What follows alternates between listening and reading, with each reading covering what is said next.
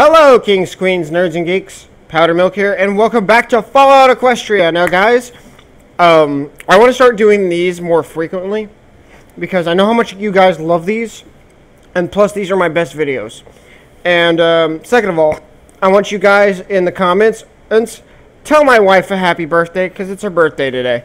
Anyway, um, where we left off is that little Pip had removed her memories and for a purpose so that way the goddess won't be able to get to her.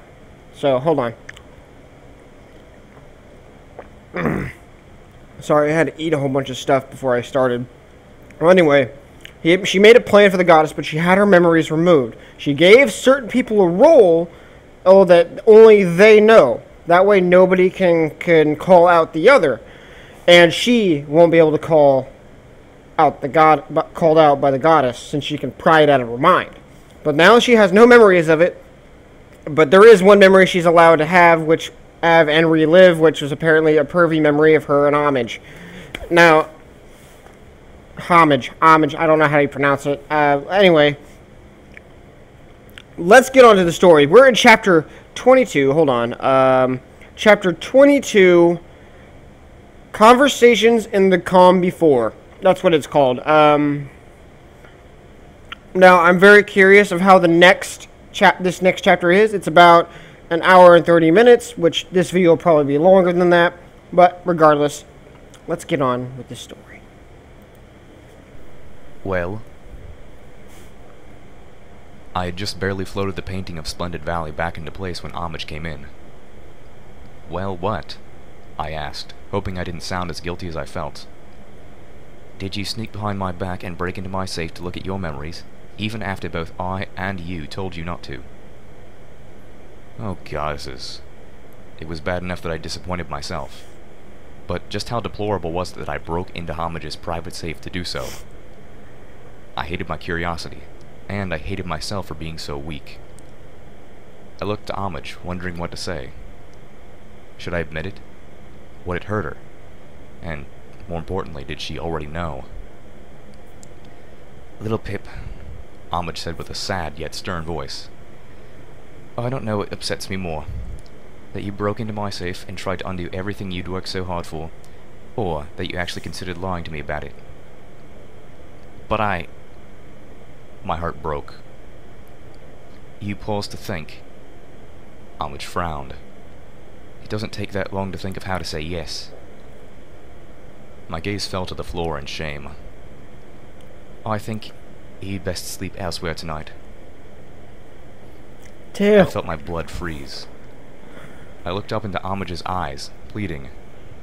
The beautiful little gray unicorn gave me a soft, sad smile.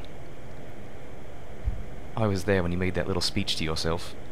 I know you were probably going to do this, and so did you. I hoped you could be better than that. Her words hit me like a buck to the gut. Damn. But I'm not angry at your failing. Just disappointed. I would rather she be angry. Disappointed, it hurt so much more. I could handle being yelled at, but the idea that I had failed and saddened Homage. Homage looked at me tenderly. Before your worries take you to that dark place, I'll tell you up front. This doesn't change my feelings for you at all and my disappointment will be short-lived. I'm not sending you away because I don't want to see you. I'm sending you away because you've been bad, and I'm punishing you. She gave me a little smile. And I think we both know you need that as much as you deserve it. Damn. The smile faded. I'll see you tomorrow, little Pip. It took me most of the ride down the elevator to figure out why I needed such a punishment as much as I deserved it. There was no question of the latter. The pit in my stomach and the self in my heart told me that I had done wrong, that I had wronged myself, and far worse, that I had wronged her. My voice in the darkness. And with that, even if she forgave, I would never be able to accept forgiveness until she'd punished me for it too. I couldn't move on while my tail was twitching. I needed something to fall on my head, or I'd always be looking for it. I wasn't entirely sure how I'd come up with that analogy. Awareness, it was under E. But I knew that it was appropriate. I walked slowly down the hall Wait. toward the door of our suite. Did she really make a Pinkie Pie reference right there? Hold on, hold on. What was once unimaginable had become a feat of such Stop, ease. stop, stop. Okay, here we go. Did she just seriously make a Pinkie Pie reference right there? So that way, like, saying it was under E? Because I don't, I know that was pretty subtle, but I caught that real quick. Seriously. I barely focused on it. My mind was largely elsewhere. I was determined to remain at Ten Pony Tower for a little while longer. Not for myself, but for my companions. Each of them had nearly died in the last few days.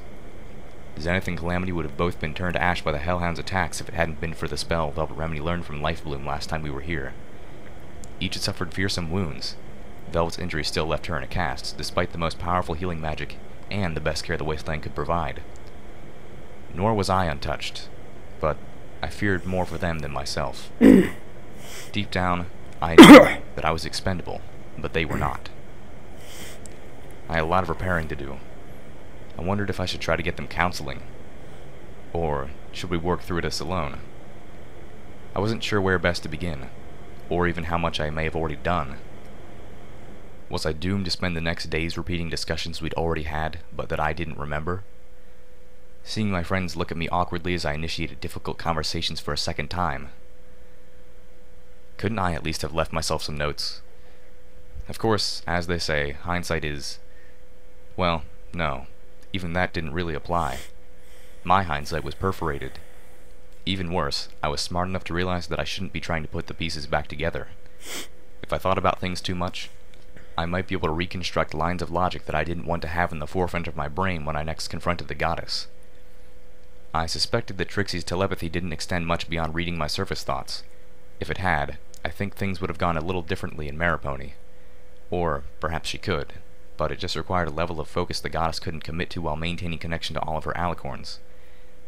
The fact that Calamity had been able to surprise her about something he had been looking at told me she wasn't nearly as on top of current thoughts as she wanted us to believe.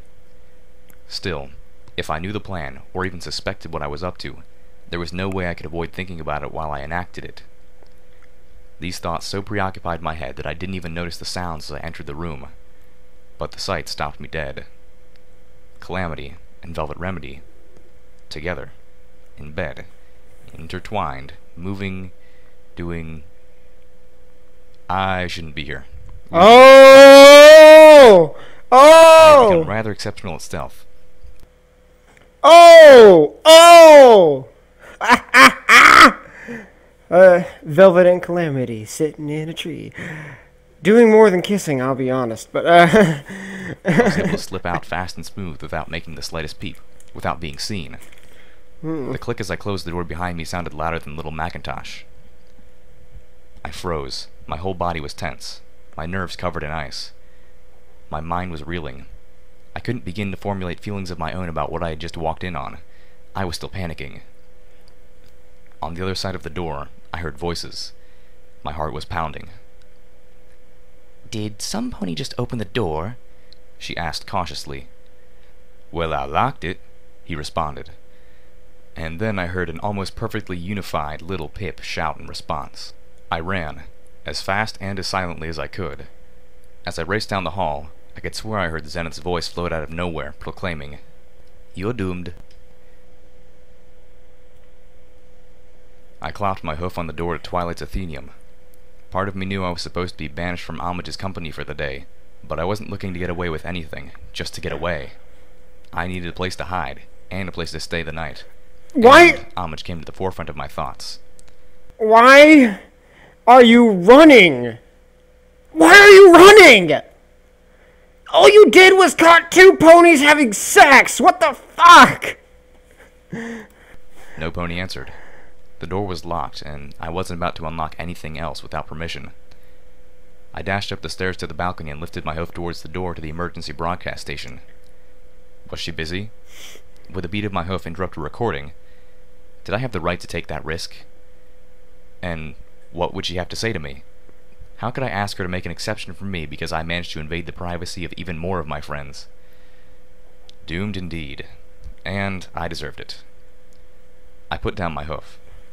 I just spent the day wandering aimlessly around Ten Pony Tower, avoiding every pony, and waiting until the final hour of my exile was over. Not a problem. I could go half a day without getting myself in trouble. I heard a chime in the atrium below. The elevator slid open easily. I crouched flat on the balcony as I saw Velvet, Remedy, and Calamity step out into the atrium, Calamity helping support Velvet with one of his wings. Oh, goddesses. I couldn't face them right now. I backed up against the MAS EBS door, hiding. Hmm. You think she's upset? Calamity's voice sounded below.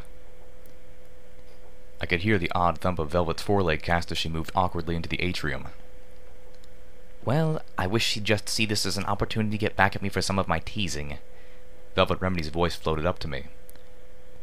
Her chocolatey smooth voice had a slightly harried timbre. But I doubt that she will.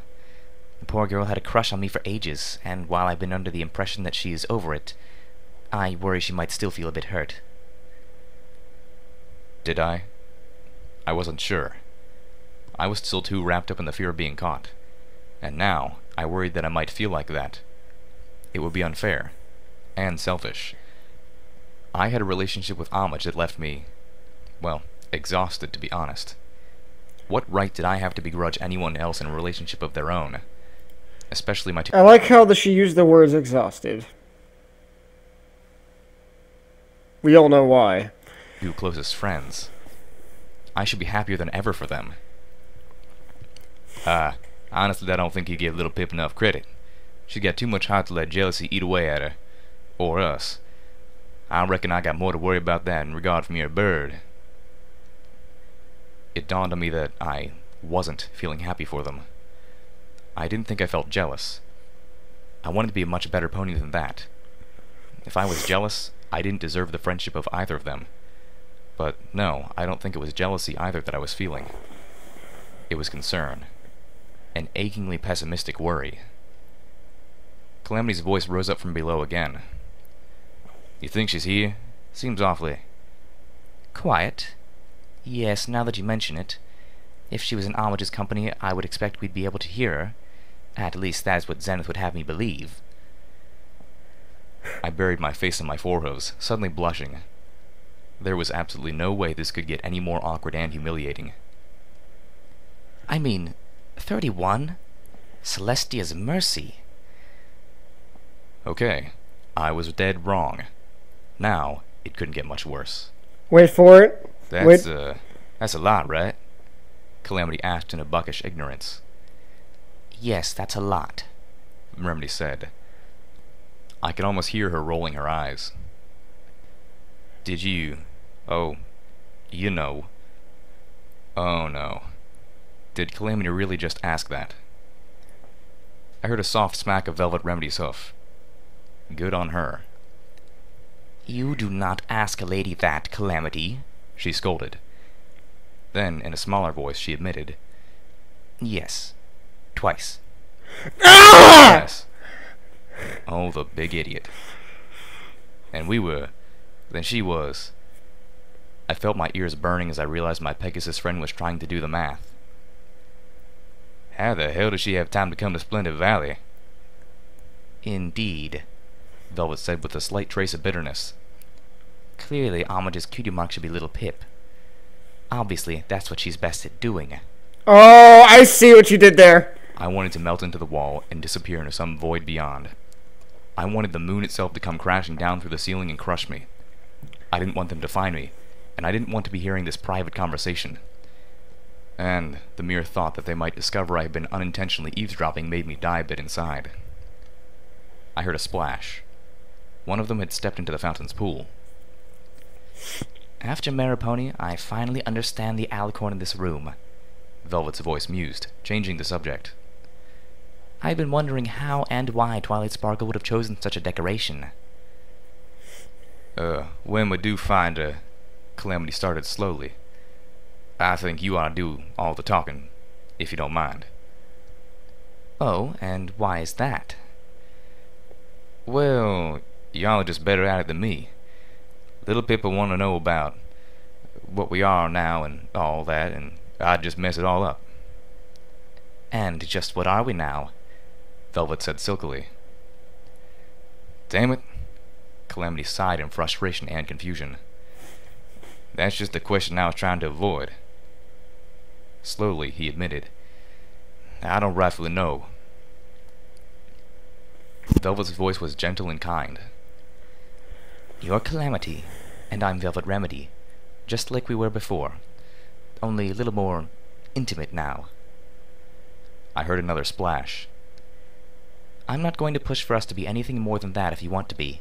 I'm never going to tie you down, or demand a commitment that you aren't looking for. I couldn't help but feel this conversation was built upon a great many that I hadn't been privy to before, and that I had no excuse to be listening on to this one. My mind began to scramble for ways to escape. Girl, you don't even need to ask. Yes, I know, Velvet purred. But I need you to know that I'm not looking to change anything about you. Well, except maybe for your grammar. I just want to be with you. If I open the door behind me, closed it, and stood up quickly, surely they would think I had just stepped out of the station behind me. It seemed like a good plan. But the door was locked. Of course it was. Well, surely I couldn't get myself into any more trouble. Oh, dang it. I don't know nothing what to say. Ain't any good at this sort of thing, after all. You don't know anything to say. Velvet tried pointlessly. Yep, wish I did. Maybe I should just hold you? The lock clicked. I slid the door open, then stood as I closed it again. Once again, a unified cry of little Pip. I looked down at them, both standing in the fountain's pool, Calamity's forehoof sliding away from an interrupted embrace. My heart raced, and I blurted out the first thing I thought of. Oh, hey. I was just in there with Homage in the place doing the thing. They were both giving me odd looks. I wanted to face of myself into unconsciousness. Instead, I gave them a forced and probably awkward smile. They looked at each other, then back to me, their expressions melting into ones of compassion and concern. I realized that my awkwardness would have been taken as discomfort over what they knew I had seen and not what they didn't know I had heard. Velvet Remedy started to call up to me. Then the door behind me opened and Homage peeked out. Little Pip, did you just try to come in? Her eyes narrowed at me. That's not how punishment works. Calamity and Velvet Remedy exchanged looks of quick realization. Doomed. Oh, fuck! Not a clever pony. After 20 minutes of explaining and confessing and apologizing, with just a hint of blubbering, I found myself sitting across from Velvet and Calamity at Homage's table, feeling small and guilty as Homage made everyone tea. At last, however, I had finally been able to put solid thoughts to my feelings. The problem now was how, or even if I should voice them. What if my worries were correct? What damage would I do by shining a light on them? Or worse, what if I was wrong, but my questions led to doubts in their own minds? The silence stretched awkwardly between the three of us. Velvet looked patient but strained. Calamity fidgeted. If I said anything, it would have to be now, while they were together and could draw support from each other as they answered. But what if... Calamity rubbed a hoof on the table, absently asking Velvet, Hey, you figure they did it on here? I changed the subject quickly, and not just because the answer was yes, and I didn't want them thinking about that when Homage put tea and a plate of cakes on the table. I... I guess I'm just concerned. Why would you ask I mean, that? You're my closest friends. We travel everywhere together, and with hardly any pony else. And you are worried we've grown intimate out of convenience. Velvet finished for me tactfully. Um, pretty much, yeah. Calamity snorted. Now I know y'all might think that way coming out of a stable, but I've been down here for a while now. I've had plenty of other options, just never cared for 'em. He nodded upwards. Had options up there too, but none of those mares in the service shared my feelings about helping the pony folk down here. A right turn-off if you ask me. I had to admit, I'd never even considered the idea of Calamity having relationships available to him with any pony other than us. Well then. He then, just seemed like such a lone defender that I thought of him as being just as much a stranger to the rest of the world as we were. But hadn't Railright claimed that Calamity had been offered a home and a place in New Appaloosa? Homage came in with the tea and cupcakes. She smiled and gave me a little kiss on my horn, which suddenly felt pleasantly warm, as she floated the cup of tea onto the table in front of me. I can imagine what she's done to that horn. I'll admit, Velvet Remedy began. that I was worried about the same thing at first. The first thing that attracted me to Calamity was his wings. I swear y'all got a feather fetish. Calamity nipped playfully. Velvet giggled primly.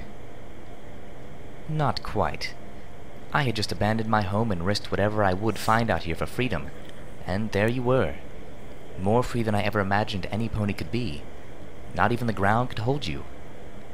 Oh, shucks. I ain't no different than any other Pegasi. Oh, but you are. Velvet cooed maturely. I didn't know it at the time, but you're so much more. I always wanted to be a medical pony, and I embraced the first chance I got. But I left my home behind for selfish reasons. You cut your shackles because they were preventing you from helping other ponies. You freed yourself out of compassion and kinship. Calamity was blushing now. I realized that I liked seeing him like that. It brought out a beauty in him. Hmm. You truly care about This is a heartfelt heartfelt She continued, her eyes roaming over Calamity. and I've seen how you are with us, especially with little Pip. She said, turning back to me. He'll stand by you, never leave you, protect you even from yourself. Always there to catch me, I found myself softly saying. Velvet Remedy smiled and nodded. I feel safe with him around because I know he will protect us. Especially you, since you seem to need it the most. But he has always been right there for me when I needed him too. I was all of a sudden feeling guilty again, this time for monopolizing Calamity's time. I lowered my head, breathing in the calm scent of zebra chai tea wafting up from my cup. Scowling a little, Velvet Remedy couldn't help but add, I'm not saying we're a match made in the clouds. He does tend to jump to violence as a solution far too readily for my tastes. And he's not the only one.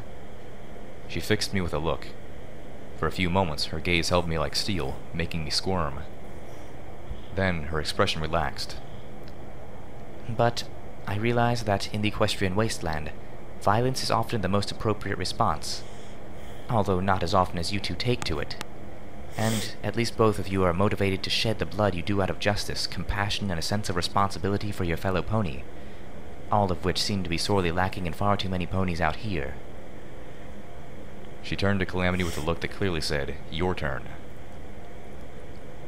Homage trotted around and sat behind me, watching unobtrusively.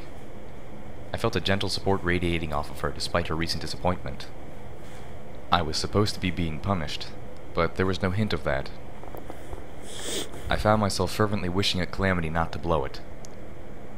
I wasn't happy for them because I was worried they were going to get hurt. But I wanted them to be together, I realized. I hoped for them. And Velvet's words were like a ray of heal, untainted sunshine.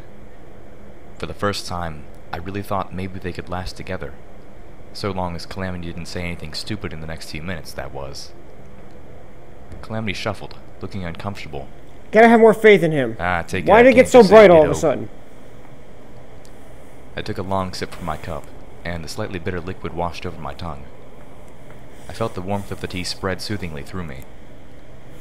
Velvet Remedy gave Calamity a shake of her head. The Pegasus reached back to brush at his mane, accidentally tipping his desperado hat into his eyes.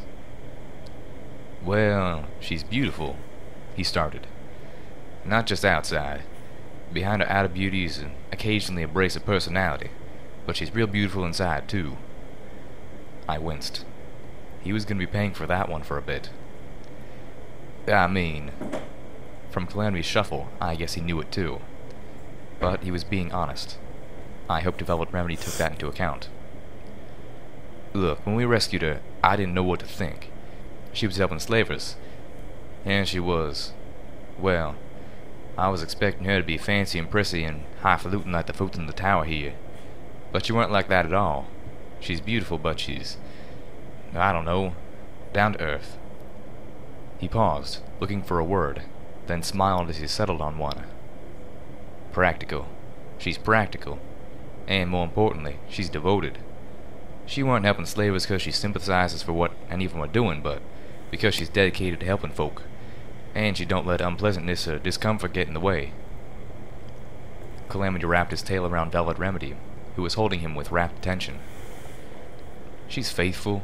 She stuck by our side even as we walked into hell. Her wanting to play diplomatic like with aggressive or evil types does wear thin, but I reckon maybe there's something to it sometimes. And she does that 'cause she really does care about folk. And she really is committed to helping them, even if a mess of them don't necessarily deserve it. But it ain't like her to ask if they do. He shrugged. How could I not absolutely love her for that? Looking into Velvet's eyes, Calamity finished by saying, It's like, you just what the doctor ordered, you know? Velvet rolled her eyes at his corniness, but smiled. Come on, that was cute. Look, that was cute. wasteland ain't a pretty place. It's rough and it's grim and it's bloody.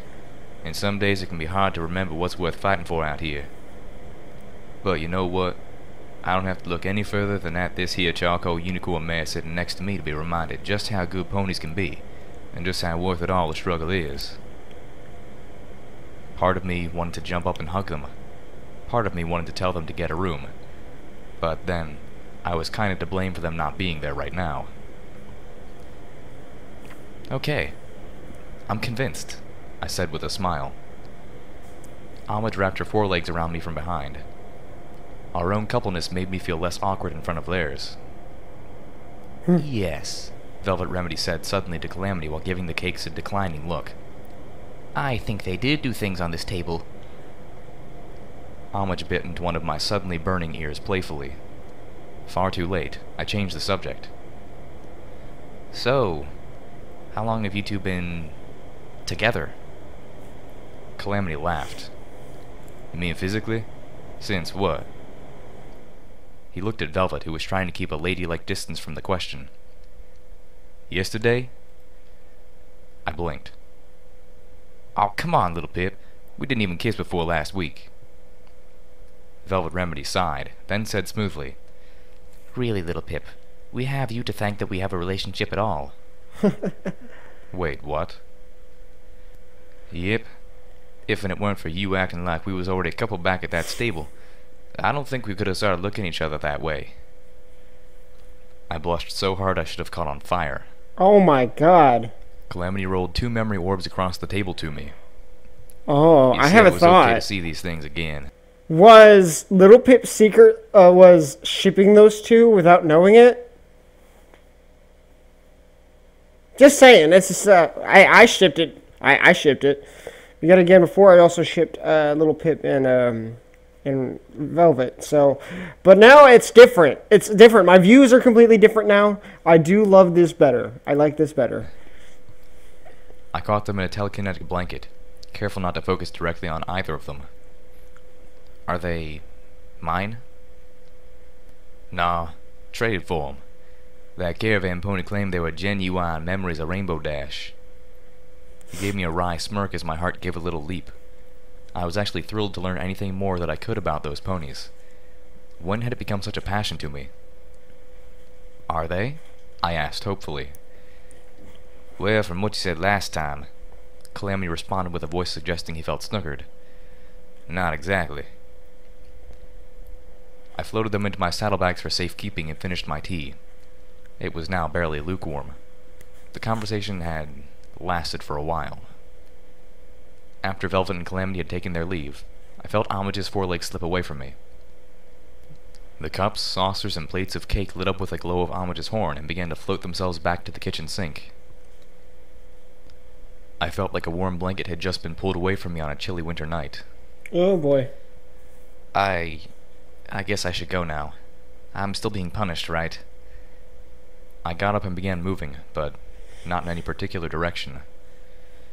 Yes, Homage said a touch reluctantly. I wished punishment didn't mean having to be apart from her. The thought of being alone tonight hurt more now than it did before. I stopped next to a desk littered with Homage's personal things. She had a triptych of pictures framed on the desk. Pictures of me in the wasteland, my friends nearby. The pictures were taken from someplace high above and far away, zoomed in until I nearly filled the frame, but washed out with the odd tint of all the air caught between the camera and its subject. I suspected that the pictures were taken by the cameras on those spires. And I suspected the willing separation tonight hurt Homage just as much as it hurt me. Couldn't you just, you know, spank me instead or something? I asked, hoping for a faster punishment. Homage laughed. no, but tomorrow night I might. Damn! I looked at her in confusion, one ear dipping. How would spanking be a reward? Oh. Oh. Oh my gosh. I lost balance, my head crashed into the desktop. I backed up, stumbling, seeing stars. Amwood was chuckling even as she trotted up to make sure I was okay. I think I better go now, I told her.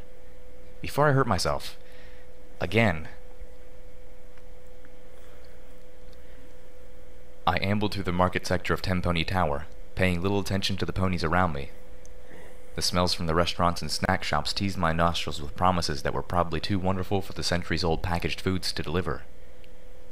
But I let my nose drag me towards one of them anyway. Looking at the wall-mounted menu, my eyes widened at the price, each of which was now written in pencil with telltale signs of several previous erasings. I lifted my pip buck, checking how many caps I had on hoof. Velvet Remedy had been the queen of barter, so we've been letting her keep most of our caps. I barely had enough for a Sparkle Cola or a box of stuffed apple cakes. Filled with a sweet candy apple filling and 5,000 times the daily recommended amount of preservatives. Yay. I plopped down my bottle caps and ordered a cola. I watched as a pony slid the caps off the counter with a hoof, then picked up a crowbar in his mouth and trotted back to a still functional Sparkle Cola machine, prying it open and fetching my drink. A chain and padlock on the ground told me how they kept their supply secure at night. I took my cola, floating it next to my muzzle and tasting the lukewarm, deliciously carroty flatness. I was an hour into my exile and already hating it. I spotted Calamity leaving the constabulary, looking disgruntled. Highway robbery, he groused. Anywhere else and I could buy an armor-piercing round for what they were asking for a rubber one, he added. Well, if anywhere else sold sold 'em, that is. I scampered over to Trot to decide. How's your wing? Calamity smiled, judging my intentions. Velvet and I are doing just fine. Well, not fine. She's hurting inside. What happened to both of us at Old Olney scars are badly. But we're working through it together, so don't try to get us set up with that shrink again. I blinked. I did that? I had considered it earlier. Yep, not one of your better plans, Calamity noted. But well intentioned. I wasn't sure I wanted to see that memory. Ever. We walked in silence a while. I drank from my cola, then offered some to my friend. Calamity accepted, biting down on the bottle's rim and tilting it back for a swig. Then he passed it back. We walked on in silence some more. I'm worried, little Pip. I nodded. There were about a hundred things for us to be worried about, plus several extra ones for calamities he plunged into this newly deeper relationship with Velvet Remedy. It's the Enclave. That experiment in Old Olney. That was new. Post-Calamity new. I don't know why they'd be there, why they'd be doing that, or what they're all up to. He looked at me. And I'm worried. Of all the possible worries he might have, this was the one I expected the least. But I knew that I shouldn't have. These were his pony folk, his home. They had to be weighing on him as much as concerns for Stable 2 weighed on me. Pegasi good pony folk, Calamity said. Whatever happens, remember that, 'cause the Enclave, they ain't. Not so much. I was in a large foyer, marbled in gray. Large vertical windows let in the gray light of a rainy day. Outside, a dozen ponies were protesting, chanting and waving signs in the rain. Inside, ponies trotted about on personal business, or stood in conversing clumps. Many wore long raincoats, still slick with a wet sheen. A few were hauling small wagons filled with boxes. My host was an earth pony mare sitting behind a long counter, gazing languidly at the text on a terminal. From the stirring warmth in certain parts of her body, the story she was fixated on was of a cloppy nature, and probably not safe for work. A familiar voice echoed from somewhere above, and safely distant enough that my host was able to change the screen, to a memo on wartime stress disorder, without rushing suspiciously. She looked back and up, her eyes moving to a spiraling set of wrought iron stairs that descended from a mezzanine level above. The whole lobby gave me the impression of ministry architecture.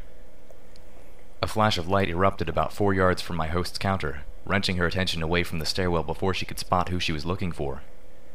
Rarity stood in the lobby, wobbling slightly. Her dress, mane, and the large satchel on her side all hissed up wisps of smoke. She blinked, wide-eyed, seeming disoriented. But in an eye blink she had gathered herself together and was trotting up to my host with an urgent expression. Hello, welcome to... My host began politely, but Rarity was in too much of a hurry for niceties. Yes, yes, I know where I am and I know who you are, she said, waving a hoof. I need to know if Rainbow Dash is still here. Please tell me I haven't missed her. Before my host could answer, that familiar voice answered for her. Hovering about halfway down the spiral staircase, Rainbow Dash exclaimed loudly, Whoa, Rarity, did you just teleport here? Standing on the steps behind Rainbow Dash, Applejack was looking equally impressed. Her orange coat and blonde mane made for a welcome splash of warm colors in the stark, cool room. Rarity paused, seeing the two of them, then smiled with a soft whinny. Yes, well, I have been trading spells with Twilight for years now, and let me tell you, it is not as easy as she makes it look. With a wince, she added, How's my mane?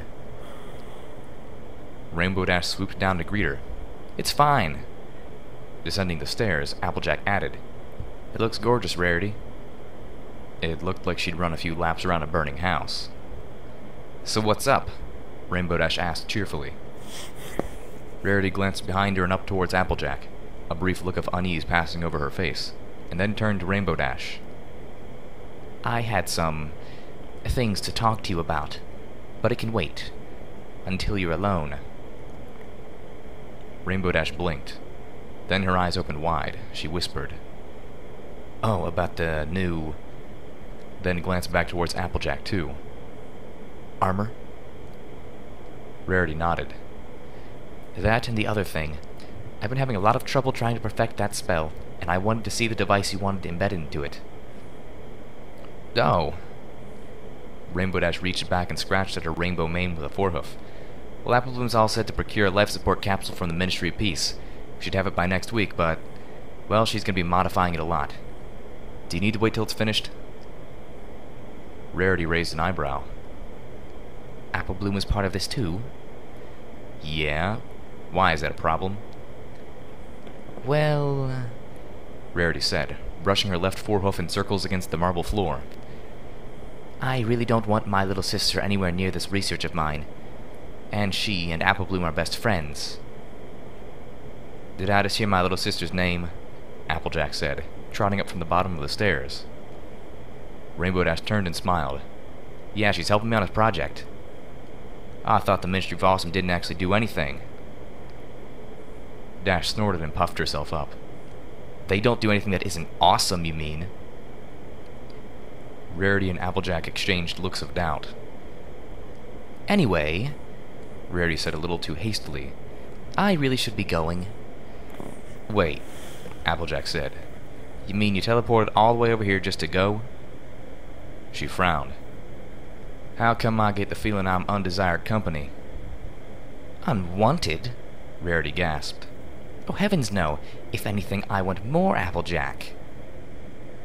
I snickered inwardly and was glad my eavesdropping host didn't do the same. We don't see nearly enough of each other anymore. It feels like ages since... She paused, then chimed up. Idea! We're together right now. Let's do lunch. Of course. Rainbow Dash shrugged. Sure, why not? Applejack chimed in. Well, I got about an hour before I gotta be at a meeting for all the governors of the Ministry of Technology. And there is that new apple fritter place that Caramel Apple's kids have just opened up, which I've been meaning to try. Sounds perfect. Rarity clapped her forehooves with a demure squee. Wait, aren't those the same brutes who tried to kill you with an elevator? Applejack's eyes narrowed. That ain't never been proven. Still, the idea of you spending time in a room with that lot. Yeah, Rainbow Dash jumped in. Want me to come with you? If they're planning anything funny, I'll make them think twice. I can handle myself just fine, Dash. But I do thank you kindly for the offer. Seeing her two friends still frowning unconvinced, she sighed and added, Besides, Sergeant Steelhooves has already offered to be my personal escort. Have I met this guy? Rainbow Dash asked suspiciously. Are you sure you can trust him? We already know who Steelhooves is. sighed. I don't think you have, but he served with my brother. He trusted him, and so do I. A Oh, you spilled oh, you more than trust him. You, you more than trust Besides, him. You have this being kid. too long, just enough to give my speech. I've been practicing it all day. Want to hear it? Rarity's eyes widened at the thought of listening through an entire speech by Applejack. Or perhaps just alarmed at having to do so in a public lobby while her mane was frizzy. Maybe over lunch? She suggested. Sure. Rainbow Dash encouraged Applejack with considerably more volume. Let's hear it. Okay. Applejack paused, stood straight and tall, cleared her throat, closed her eyes. Y'all are fired. Rarity and Rainbow Dash stared. Applejack opened one eye and blushed. Well, how was it? That's it? Yep. She blushed some more, looking a bit proud of herself and yet a touch worried. Awesome, you tell him, AJ. Rainbow Dash grinned wildly as Rarity stomped on the floor with applause. Why does this sound accurate? Dang, now I want to go just to see their faces. Hey, Rainbow Dash. A voice called out from the doorway, causing her head to whip around. Three elderly Pegasi trotted into the lobby. One of them, a light gray buck with a short cropped age grade mane that fell over his eyes, hadn't been wearing a rain slicker and shook himself, spraying water everywhere to the shouts and grumbles of the ponies in the lobby around him. Hello, welcome, my host began to say, but her words trailed off as the three Pegasi pushed their way up to Rainbow Dash, ignoring every pony else, including her friends. Hey Rainbow, remember me? A mustard-colored buck added, stepping forward in front of the others. Why do I feel this is He was those? an unusually large buck, his rain slicker covering only half of his flank, revealing most of a large orange basketball for a cutie mark. I wondered idly if he had one ball or two. Then immediately wanted to jab my hoof in my eye to kill the mental image that followed. Oh my god, come on! Rainbow looked them over and then narrowed her eyes and shook her head. Sorry, no, I'm rather busy and only have time to remember important ponies. The three all scowled. Their muster one growled, shoving a hoof into Rainbow's breast. Well, then maybe you remember my little brother. He was one of the Pegasi you got killed fighting that dragon over Hoofington.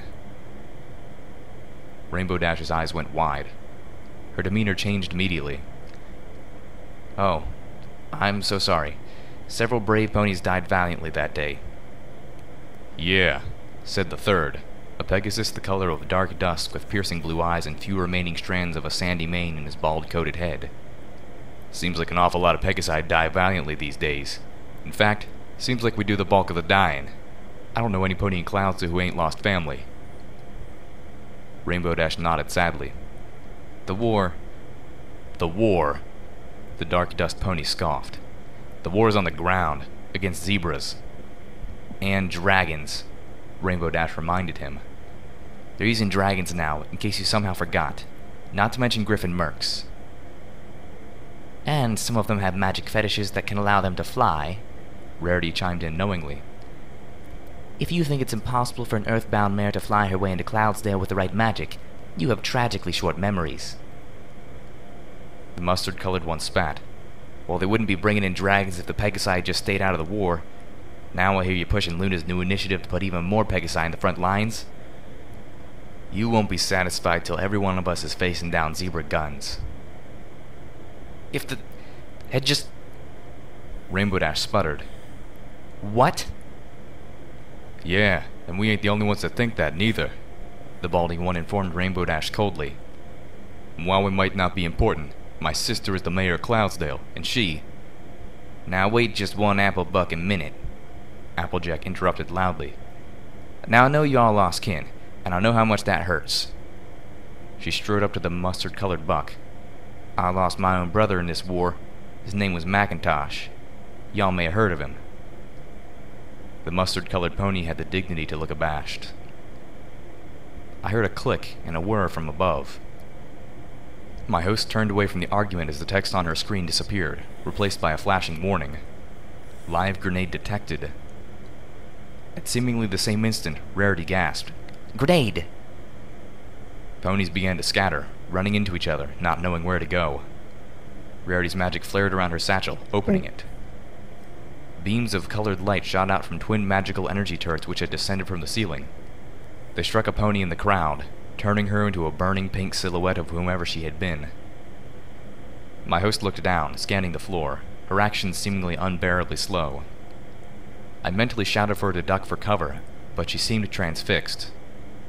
Her eyes fell on the metal apple not two yards from her desk. The dark bulk of a large open book fell down over it, and four white hooves jumped on top. The book.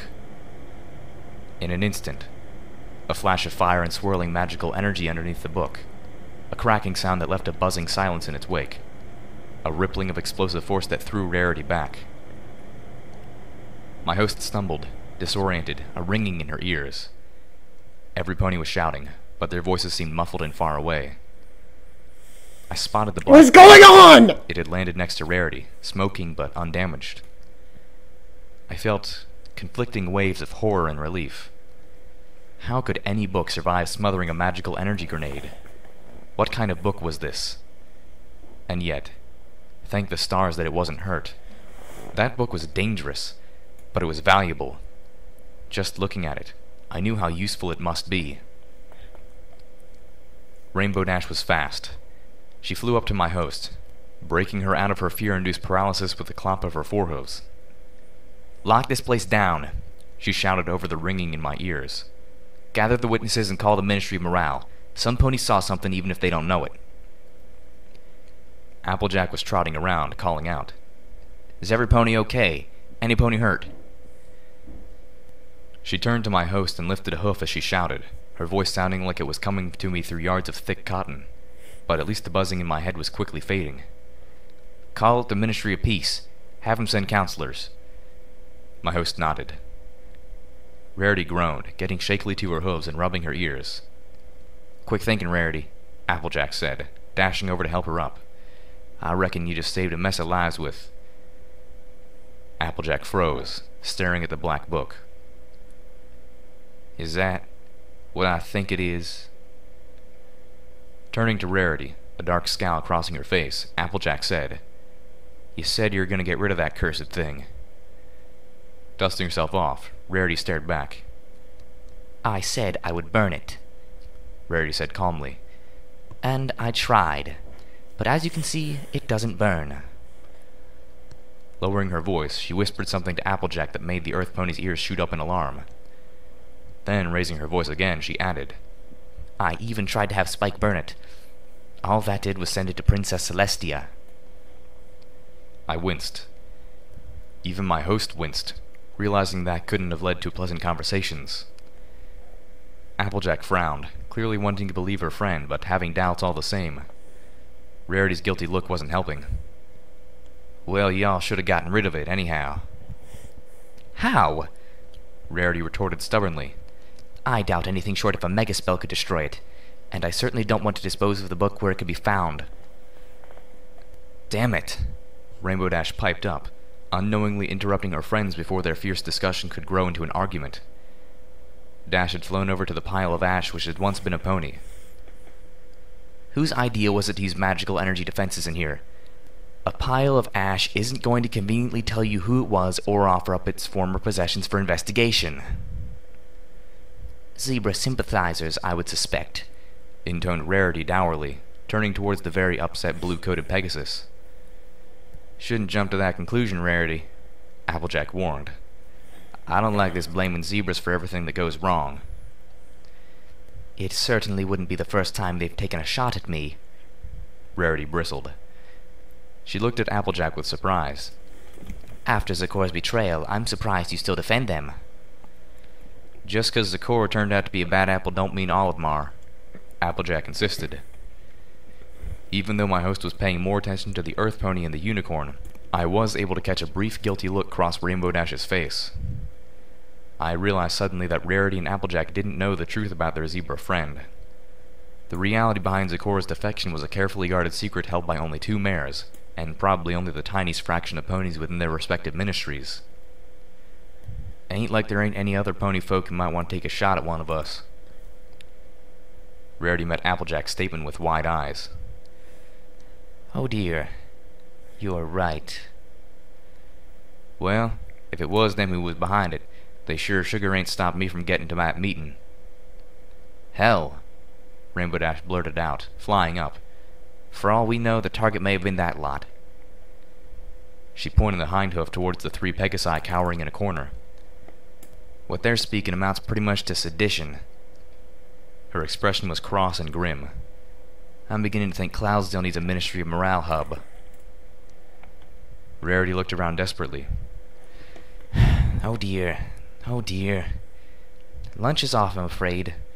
I need to get back to the image. We don't have much time to figure out what to tell the news ponies to say about this. Three ministry mares. Oh, this is bad. We have to move on this now. As Rarity magically scooped up the black book and vanished in another flash, my host finally began actually doing her job. When I returned from the memory orb, I was no longer on the secluded bench outside some restrooms where I had laid down to view it. I was someplace else. Someplace dark and cold. The black book floated in darkness before me. Just an afterimage that was already fading. A spotlight flared to life above me, its beam pinning me to ornate purple and pink marbled floor tiles as it destroyed any adjustments my eyes were beginning to make to the dark. I brought up my eyes forward sparkle, detecting at least half a dozen figures in the shadows about me. According to my EFS compass, they were not hostile. That only relaxed me slightly, considering I had apparently been abducted. Hello? I asked, not trying to keep the annoyance from my voice.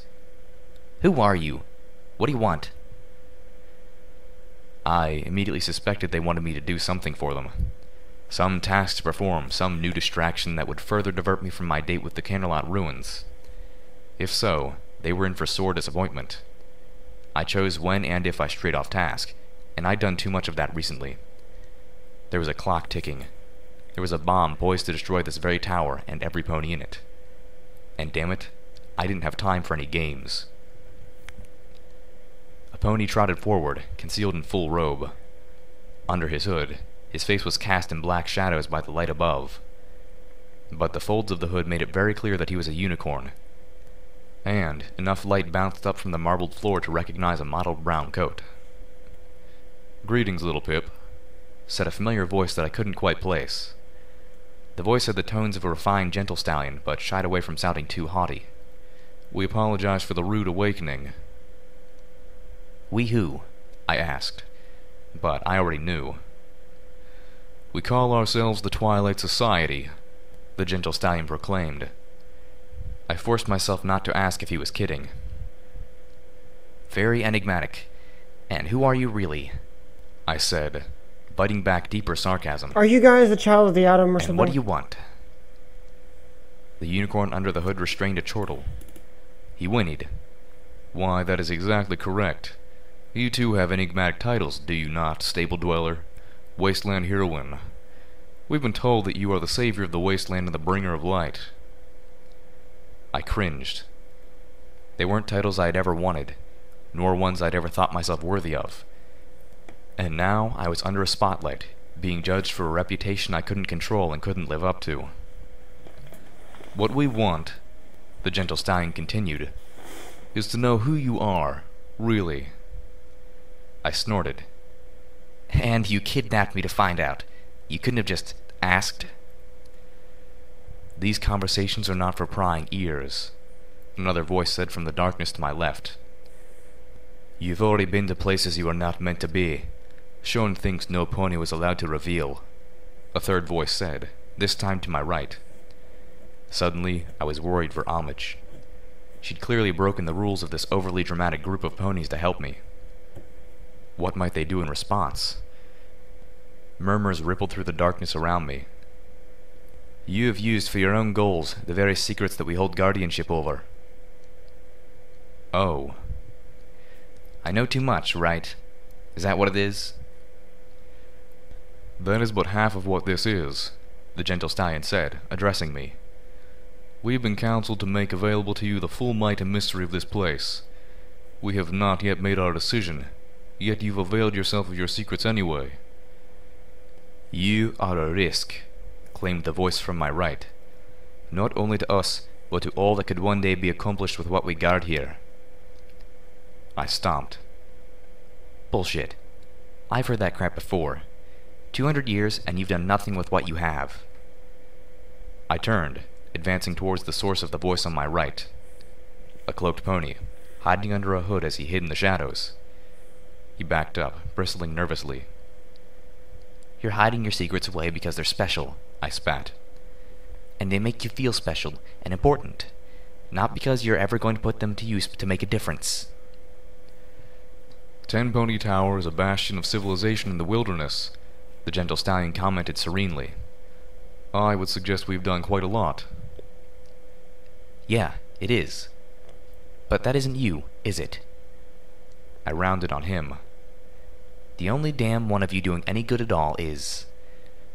I paused before I said her name. Is DJ Pony. At least she can keep a secret, nickered yet a fourth voice from somewhere behind me. We are only the most recent inheritors of these secrets. You are unwise to judge us by the failures of those in generations past, the gentle stallion said. I frowned, biting my tongue. He had a point. And perhaps you're right, the gentle stallion said earnestly. Perhaps it is time for us to make a greater use of what is hidden here. But to do so carries great risk, not only from the greedy and the wicked outside our gates, but from within. Who can we trust to guide the use of this power and these resources? Who can we know will not become corrupted by it? I sighed heavily. What do you want from me? I asked. How can I persuade you that I'm not going to become the next Red Eye if I'm given a little help? Your memories. I jolted with a shock. What? What? You had several days of memories extracted earlier today, from within our secluded chambers. We require access to those memories. They wanted my memories? A chunk of my life. One that even I didn't know the contents of. No, I stomped. Those are my memories. They're private. We could ask who you are, but you would only tell us what you want us to hear. The perceptions of others are fragments and heavily colored by their own perceptions. How better could we possibly learn of who you really are? I fumed. I didn't want to trust something so precious to these strangers. I didn't trust them. I trusted homage. That was all. Plus, it felt wrong, like a violation.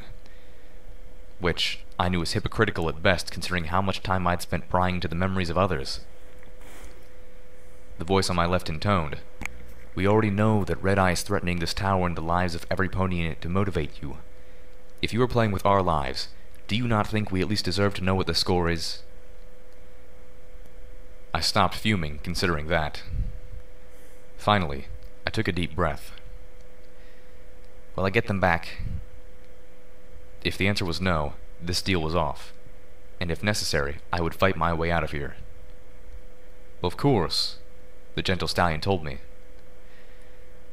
Fine. Then yes, but on two conditions. Underneath his robe, the gentle stallion cocked his head. And what conditions would those be? 1. The memories do not leave Homage's possession. I trust her to guard them. So far, I have no reason to trust any of the rest of you. Agreed. And 2. Homage continues to live here as long as she wants, save from any repercussions for having helped me or for revealing what she did. More murmurs. Unhappy ones, I noted. Non-negotiable, I said. I hoped I had this card to play. What if they decided that they really weren't that interested in me after all? But the gentle stallion answered. Agreed. I felt a sigh of relief. Conditionally. I felt my heart skip a beat. The robed pony elaborated. No actions will be taken against Homage until all of us have had the opportunity to review the orbs. Should what they reveal of your character and methods persuade us to deem you an asset rather than a threat, then no action will be taken against her and record of her misdeeds will be expunged. If, however, your memories prove you are a menace to our society or this tower as a whole, then homage will be judged accordingly. I knew that by agreeing to this, I would be putting my memories in jeopardy, running the risk that I might never see them. But in the end, what else could I do? My memories were a small price to pay compared to the potential rewards. I prayed that I had at least a shred of the sort of character that DJ Pony attributed to me. I was relying on myself to have been a decent pony. I was given the memory orb again, and instructed to lose myself in it while they returned me back to the bench they took me from. All of which seemed utterly silly to me, but I went along anyway. I suspected Lifebloom was with them, and that made me feel just a touch safer, if only because and Velvet seemed to think well of him. When I came out of the memory orb for the second time, the feeling of deja vu was almost enough to make me wonder if I had imagined the Twilight Society.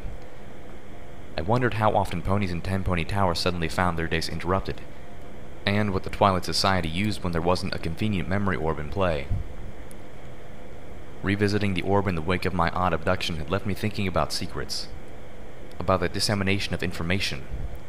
Covert operations depend on secrecy for the safety of those involved, but it seemed cruel for Rainbow Dash and Pinkie Pie to leave Applejack and Rarity in the dark about Zecora, believing that a close friend of theirs had betrayed them. Was it necessary to cause them that pain? Could they have been trusted with this secret? Everything I had seen suggested that Rarity was well practiced in keeping secrets. But Applejack? How convincing could the bearer of the element of honesty be if put into a position where she had to maintain a lie? Was it better for every pony, and one zebra, that she not know? I packed up the memory orb, checking my PipBuck to make sure the other one was still with me, and all my equipment was still in its proper place. Then, getting up, I started to walk down the hallway, away from the bathrooms. My mind was still engaged in contemplation. Likewise, it was clear from several previous memories that the mayors all knew the truth about zebra religion, or at least knew enough about their beliefs regarding Nightmare Moon to try to use them against them. But Steelhooves had been blindsided by the idea.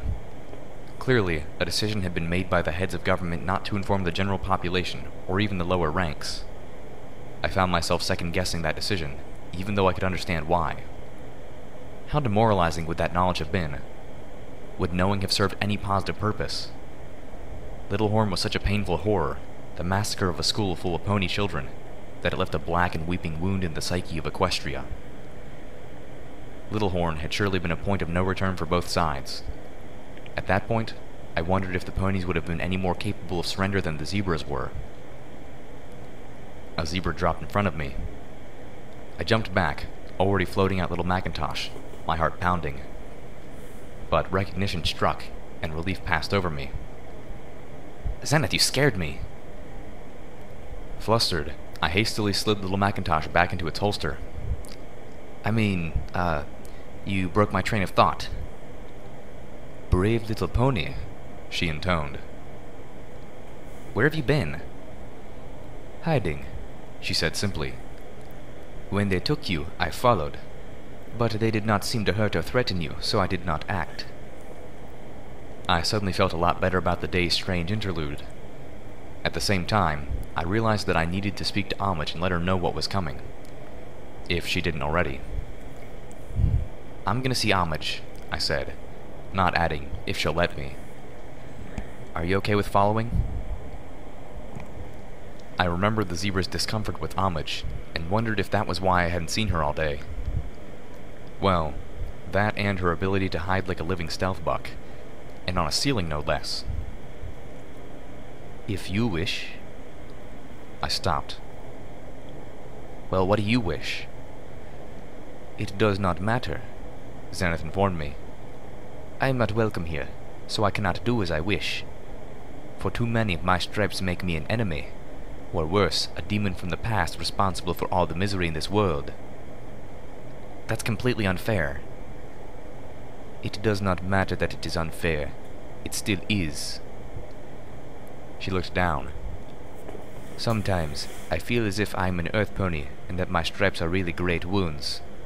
A punishment for some great wrong the ancestors of my ancestors were connected to. I shuddered, as much at the pain and resignation in her voice as the mental image her words conjured. There had to be something I could do. If you could do anything, what would you want to do the most?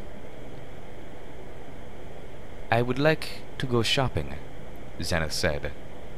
She smiled at my surprise. What? Everyone likes to shop. I would like to be able to stride into a store, look around, greeting the sales pony, and make purchases. All about only being treated as rudely as every other pony customer is. I felt a little rocked by the normalcy of the request. That's surprising. I tried to imagine how it must be to not even be able to go into a store. To buy. I couldn't, and I felt awful for it. Surely there had to be a way to fix this. We could dye her coat a new color. Um, Homage suggested as she floated the huge painting of Splendid Valley away from her safe. She was moving my box of memory orbs to another location so that she would not have to reveal this safe when the Twilight Society came for them. A near black charcoal would hide her beautiful stripes enough for a modest gown, and a hat, to obscure them completely. Although for the life of me, I can't imagine wanting to do that. Homage turned and smiled warmly to Xenith. You are gorgeous the way you are. Xenith, on the other hoof, scowled. I'm being honest. Homage insisted. I'm sure my little Pip has drank in the sight of you at least once. Haven't you, little Pip? She asked, deliberately putting me in a humiliating spotlight. All the worse because I immediately thought of staring at Xenith's flanks back in Stable Two. See? Homage laughed. That burning face means little Pip's been watching you. Xenith was staring at me. I sunk to the floor, putting my forehoofs over my head. After a few excruciating moments, Xenith replied. I am a zebra, and a scarred one at that. Yes, Homage agreed, unlocking her safe. And a beautiful sexy mare of a zebra at that. A simple glamour should then mask your zebraness from notice. Homage suggested as she swung the door of the safe open. But are you sure you want to hide who and what you are like this? I hide all the time, she said simply. This is no different. Xenith made a slight choking noise, backing up, her eyes fixed on something just beyond Homage. At her reaction, we both followed her gaze. The Star Blaster. You. You have it locked away like a treasured possession, Xenith intoned. Homage frowned. Oh, I have it locked up to keep it from hurting any pony. Xenith blinked. The zebra cast a look to me as she slowly asked. Then you know it yearns to kill. Homage gave me a quick, quizzical look. I tried to return it with an expression that told her Xenith was deadly serious in the claim. Homage didn't laugh. She didn't look like she found the idea even a little funny. I'll admit, I'm a much better shot with that thing than I've been with any other weapon I've tried, including other magical energy weapons. But I attribute that to magical energy weapons being damn rare in most parts of the equestrian wasteland, and all the others I've tried being poorly maintained pieces of rubbish. Xenith remained silent, waiting. No, I don't think it actually wants to kill. I don't believe this thing is alive or sentient. Homage told her. But Oh, I do believe that it was made by crafters with murderous intentions. Crafters? Xenith asked. It's a complex techno-magical tool. I don't think the stars just willed it into existence. Someone or something made it. She looked at the zebra. Isn't that how the stars work? They help guide people to their own destruction. I was startled by the response. I remembered now that it was Homage who first spoke to me of the zebra's mythology. And she spoke as one who put credence in the notions. Then you believe as we do? Xenith asked slowly. I believe most of all religion is born of a mixture of truth and fantasy, hope and fear. How much truth is in any one mythology is hard to say. Homage pulled the box full of my memory orbs from the safe before closing the safe up again, sealing the weapon from the stars away once more. But I believe that the amount of truth in the zebra's legends is a good bit more than zero. I don't believe that your ancestors understood the stars nearly as much as they believed they did. Homage looked to me, addressing us both. But I have seen enough to be certain that the void beyond the moon holds wonders and terrors far beyond our imaginations, and that at least some of what is out there is malicious beyond our conception of evil, and is looking this way with hostile intentions. I have changed my mind, claimed the exotic voice of the charcoal black earth pony next to me who was really Xenith. I like her. Huh. Xenith, the not a zebra, was peering into jars of strange things floating in stranger liquids that lined the back shelf of the secluded apothecary which crouched around a corner from the main stores like a little colt hiding from bullies. The proprietor kept shooting us nasty looks, but I felt they were more directed at me than Xenith. She was dressed in a gown of subtle goldenrod and ivy, with a matching wide-brimmed hat. The entire ensemble made her look not only lovely, but right at home amongst the fine ladies and gentle stallions of Ten Pony Tower. I looked like... me. Like who? I asked before I realized the obvious answer. Homage? I suddenly felt a little giddy. The not a zebra nodded with a smile. I wanted to dance around shouting, yes, yes, yes, but I was already getting enough looks from the proprietor. Xenith had clearly been enjoying her evening, strolling openly down the streets, passing through the crowds, sitting down at the same restaurants and being served by the same snobbish waiters, paying the same exorbitant prices as every pony else for confections made of sweet potato pudding and deep-fried applesauce. More than once, some pony had snidely suggested that she take me to a dress shop, and gave her sympathetic looks, as if I was a younger relative she had been burdened with and my appearance was some sort of youthful rebellion. Sometimes I really hated being small-framed. Hmm. The selection here is wonderful, Xenith commented, but I had not expected such high prices. In case you haven't noticed, miss, the stallion behind the counter grumped, we're not getting any fresh product anytime soon. It's a seller's market right now. The prices of everything in Ten Pony Tower had tripled since the first time I had been here. Red Eye's blockade was killing commerce with the caravans and scavengers. I could feel an undercurrent of worry in the marketplace. Earlier, a mare had snorted, exclaiming, The mere thought of wines meant for my cellar being sold instead of in one of those dirty little places like Gutterville or Arbu gives me the vapors. I had remembered how much I really didn't like the company of these ponies. Shouts from outside drew our attention. Xenith smiled politely to the stallion glowering from behind the counter, saying, We will be right back. He didn't look like he believed it, and scowled at me as if I'd been intentionally wasting his time. Backing away from him, I turned to follow Xenith out of the shop. Ladies and gentle stallions gathered by the nearest outside windows in small crowds. Prim and proper young fillies and colts squirmed about and climbed on their parents, momentarily forgetting proper decorum as they tried to get a peek. Xenith, reveling in her ability to talk to these strangers, asked, What is the commotion? It surprised me, not for the first time, how easily she blended in, now that the perceived stigma of her race had been obfuscated.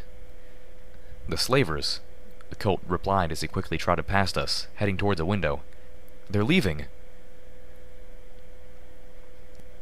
I don't like this, I told Xenith as we stood at one of the windows, looking down through the darkness of early night. The burning lights of torches drifted away from the base of Ten Tower like rivulets of lava. Over half of Red Eye's forces were pulling out. The only reason I could think of for Red Eye to withdraw before I fulfilled my end of the bargain is if he decided to blow the tower anyway. Now. But then would he not remove all of his men? Xenith asked cautiously. Not if you wanted to make sure we weren't able to evacuate, I suggested. Although I realized it didn't make much sense. I couldn't think of another reason for this behavior. Perhaps it is part of your cunning plan, Xenith suggested hopefully. Doesn't feel like it. Aren't I supposed to be being punished? I asked, sitting on Homage's bed inside Twilight Sparkle's Athenaeum, Oh, here we go. staring out the huge windows at the retreating forces. I was tense. And worried. I wanted to know what Red Eye was up to. He was making a move. And while I had nothing but a gut instinct to base my opinions on, it didn't feel like this was something I'd predicted. Throughout the tower, ponies were cautiously optimistic. I gave up. Homage admitted as she sat down behind me and began to massage my shoulders, working to relieve my tension. Xenith had convinced me not to assume the worst, but that didn't keep me from contemplating all the other avenues of bad. Homage's gentle hooves worked in slow circles over my shoulders and then down my spine, moving towards my flanks. I couldn't hold Of back course. a sigh. My eyes flew open as a dark thought stuck in my brain like a dagger. Homage, you know I've been tainted, right? The goddesses only know what that vile stuff did to me. I might be abnormal now. Homage giggled softly. Not at all the response I expected. Love, she said, sending a thrill up my spine. We've already had this conversation. Oh, Of I course. said, feeling embarrassed. Homage planted kisses up the length of my mane. How can you forget? The highlights. Both Dr. Helpinghoof and Lifebloom gave you a look over. There is a tiny mutation, but it's benign. Nothing to worry about. She gave one of my ears a nibble. The fact that your wrist taint for me and the ponies of this tower have not gone unnoticed, or unappreciated, especially by me. I felt relief. The dagger in my brain melted away. I've even checked you over myself, quite thoroughly, and you are definitely still my little pip. Wow. My ears shot up as she whispered. Orb number eight. I held Homage in my forelegs, nuzzling her softly. She leaned into me, her body warm, her breathing pleasantly heavy. Homage, I asked with trepidation. I didn't want to spoil the night. Yes, love? Homage's sweet voice panted gently up to me. Are you... Are you doing all right? After that... Oh, yes, she giggled. I tickled her absently, enjoying the ability just to touch her. You know what I mean. Things here have been... rough lately. And a few days ago, what you had to do to save us. Homage sighed and curled around to look at me, though we couldn't really see each other in the darkness. After all you've been through for me, you're still more worried about me than yourself? That was a dodge, and I wasn't going to let her get away with it. Doesn't change the question.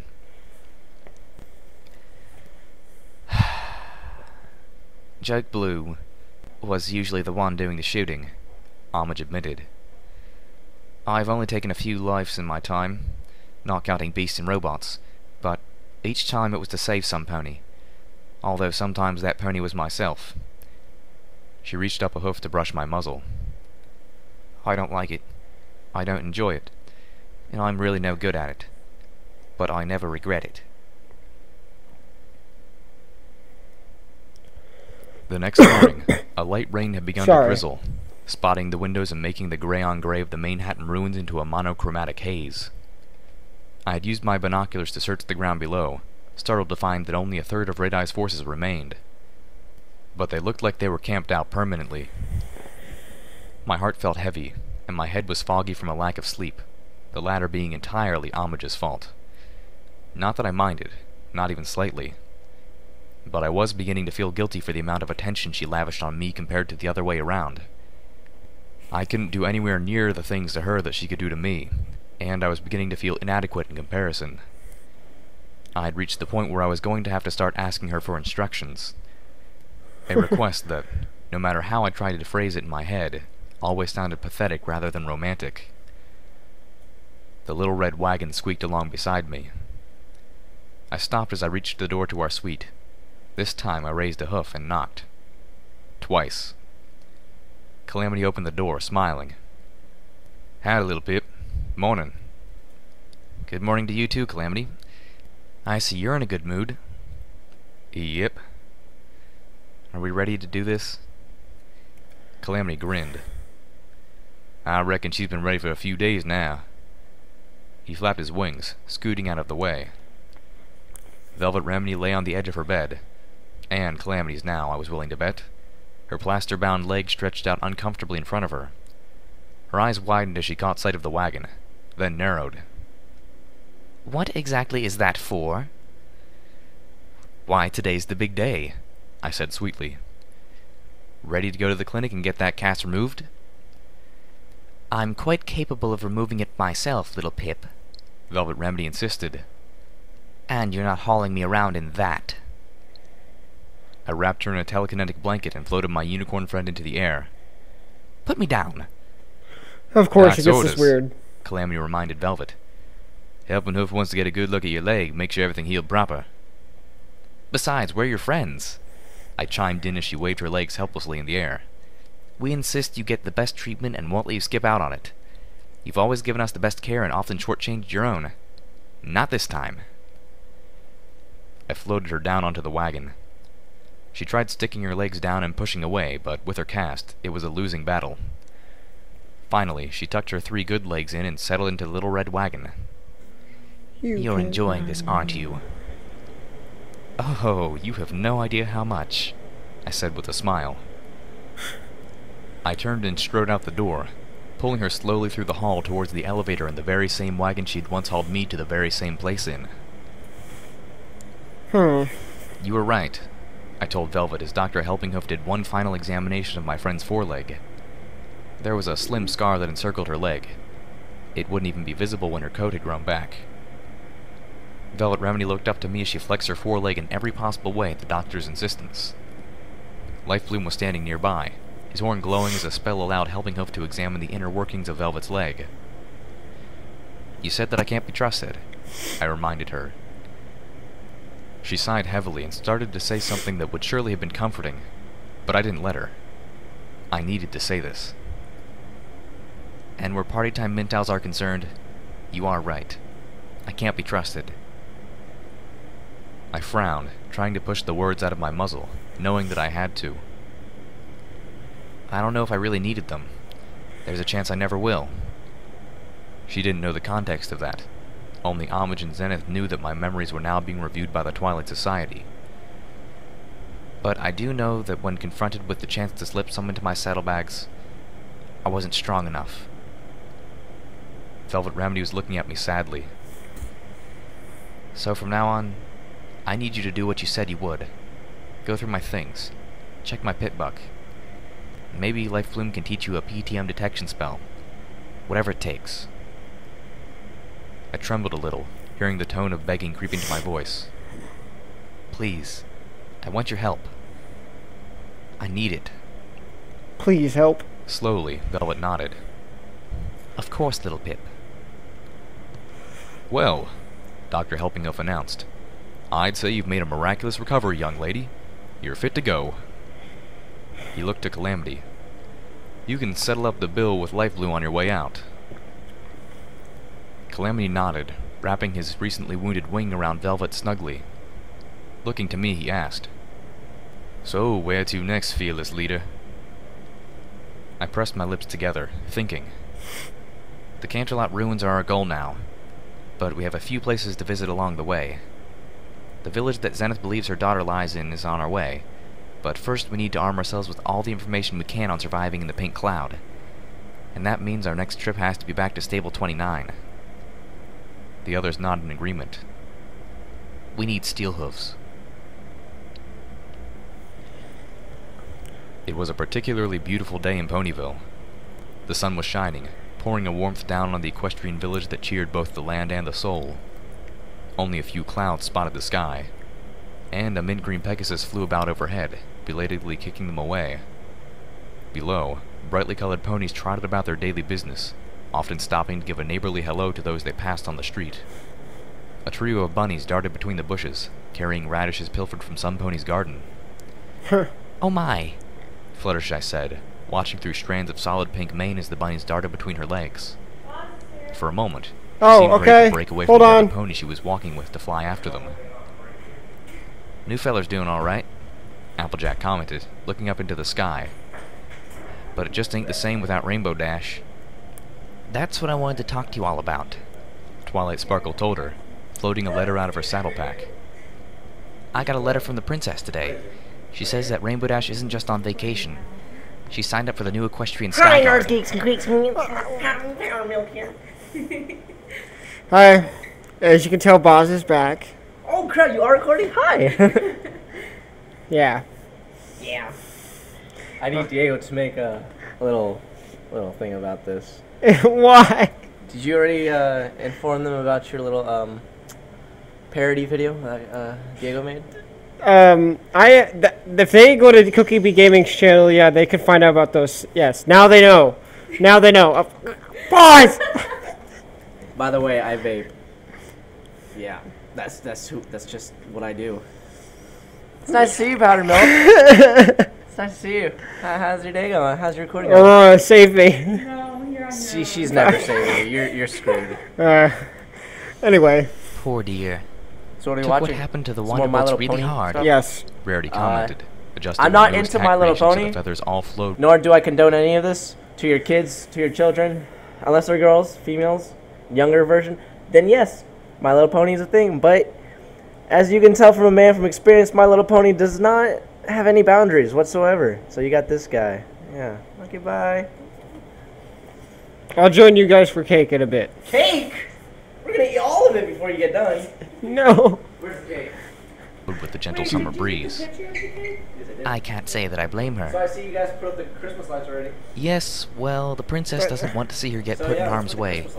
Christmas lights. They're not it would be Christmas right for her lights. to just tell Dash Yeah, they no. are. They're Halloween lights. So, Uh, they're lights. Twilight opened the letter as the others Christmas gathered around her, listening Can we talk about this later? No, we can't talk about this later. Princess We're talking about Celestia- it now. Bo- Bas, th- I'm in the middle of a recording right now. Play your freaking video and finish up what you're doing. I can't if you keep talking to me. You don't have to. You don't have to listen to me. You don't have to. Your fans will listen. I can hear you and they can hear you. I don't know what you're talking about. I'm not saying anything, nor am I speaking, nor am I condoning anything. So where's the cake? She has given us a mission. We're to travel to the Buffalo and try to strengthen diplomatic ties with them. Given Rainbow Dash's previous experience with them, the princess feels that she would be the ideal envoy. Ooh, goody! Pinkie Pie bounced. I've been working on a song and I think. Oh, hey now, Oh dear. winced Rarity, Um, ummed Fluttershy. no singing, Twilight Sparkle said sternly. but no singing. She repeated. Princess's orders. Ah. Twilight, darling. Rarity asked, concerned. Did Princess Celestia say why exactly we're strengthening diplomatic ties with the Buffalo? I mean, other than to keep Rainbow Dash occupied. Twilight shook her head. A heavy silence fell over the group of friends that was distinctly at odds with the cheery brightness of the day. Applejack was the one who broke it. I heard talk from some of the folk at the Farmers' Expo last week. They're saying... She paused, as if scared of the words she was thinking and what would happen if she said them aloud. We might be headed to war. Fluttershy gasped and disappeared behind a stump. That. That's impossible, Applejack. Equestria's never had a real war in. Twilight Sparkle paused, clearly running through her vast studies of equestrian So wait, this is the beginning of the war? and finding nothing.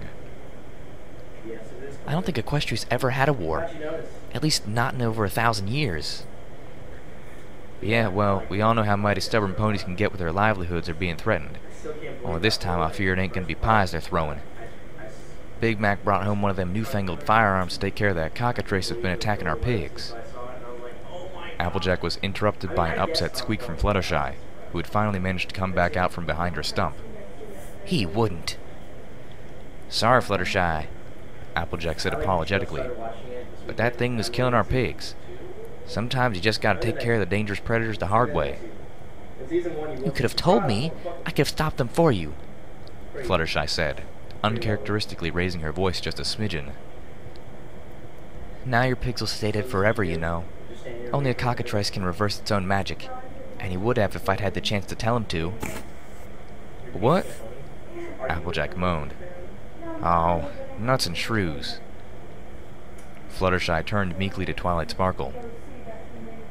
there's not really gonna be a. Her voice faltered on the word war, becoming barely a squeak. Will there? I hope not. Twilight said. I don't know what we'd do if there was. But. But ponies would get hurt. And animals. Fluttershy was trembling just at the thought. We, we can't. We can't let that happen. We just can't. I think that's why the princess wants us to start talking to the buffalo. Twilight said Oh, unsurely. sorry, I keep hitting the mic. Well, whatever the reason is, we'll do this together. Rarity asserted. Give me a few days to close up my shop and I'll be ready for the trip. The others nodded. You're right. Ain't nothing we can't handle together, Applejack said, smiling at Rarity. Right. Twilight Sparkle said, back on firmer ground. Whatever the cause, Princess Celestia has given us the mission and we will not fail. This was familiar to her, No, She no, no, no, no, no. and she could do it again. Every pony, make whatever arrangements you need to. We may be gone from Ponyville for a while. I'm gonna go get Rainbow Dash. Let's meet back here in less than two days. The face she had in her friends virtually radiated from her. All of her friends nodded, Fluttershy looking both exceptionally nervous and particularly determined. Then, every pony galloped off, leaving the yellow Pegasus standing on the path alone. It makes it more like. Oh, so much to do. But we can't fail. mysterious. We just can't. She fretted. Who will take care of the animals? Can I help? My host asked, flying up to the distraught yellow Pegasus. Ooh, Fluttershy jumped, then crouched meekly, looking around until she spotted me. Yeah. oh hello I got Ditzy this Doo. I didn't see you there. Did she do? She looked Yes. away shyly. Um, sure if you'd like. I felt my host smile happily. Wait, we're going into the Today mind was to the mind of certainly a a ghoul day. pony right now. Oh my god! It's a real thing! Uh, anyway, th- sorry for the interruption. Bas! I'm making it more mysterious for you. It's okay. Stop. Just stop. Why? Why? Well, anyway, guys, I hope you guys enjoyed this awesome episode of Fallout Equestria! and Bas b- annoying the fucking shit out of me!